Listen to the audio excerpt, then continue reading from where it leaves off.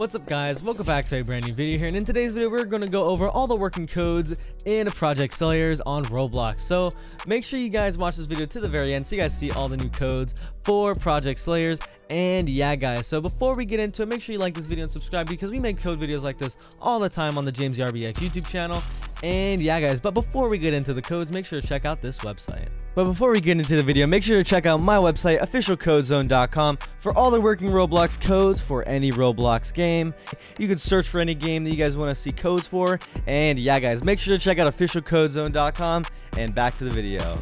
So yeah guys, make sure to check out officialcodezone.com because we have Roblox codes for almost every Roblox game on there. And yeah guys, let's just get right into the codes. So once you are in the game, you want to go to your menu. I believe on PC you press M, but on phone I believe you tap your screen or hold down on your screen to open the menu. And then you want to press this book right here. And then at the bottom of the screen you'll see this little code box right here. So we're going to go ahead and enter all the working codes. So the first code that we have right here is Happy New Year's with an exclamation point at the end.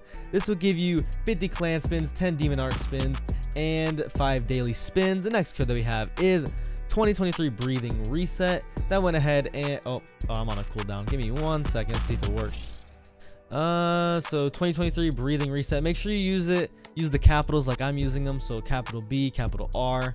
Yep, that went ahead and worked for a breathing reset. And then the last code that we have here is happy update years.